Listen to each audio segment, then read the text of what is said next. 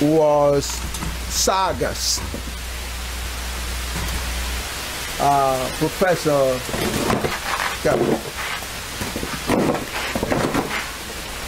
Yes. Professor Gregory Tsagas. And the review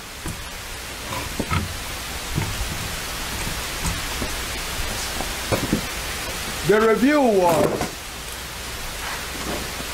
very consistent with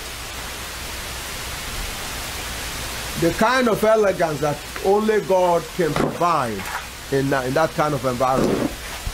Okay, you want me to come closer?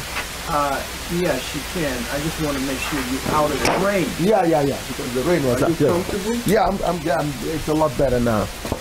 Okay. Um, now, so before you understand what the review, what the review um, represents, you have to understand. Who the reviewers are. Uh, that's absolutely correct. That, uh, as a matter of fact, that is that single-handedly tells you whether uh, you know, the nature of the review. Uh, definitely in the very, very high class of pure mathematicians, or people they call geometers, geometers. You know. Um, and concave might be called applied in the sense that he has uh, turbulence and aeronautics uh, uh, leanings.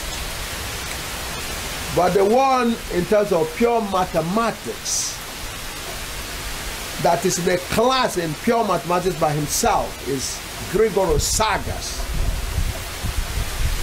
That underscores the the uh, classifications of GAGUT as being the ultimate mathematics. Because Grigory Tsagas has the credentials that you understand it? so there are very few people who can match it. Here's a man uh, that um, has been reviewed over 200 times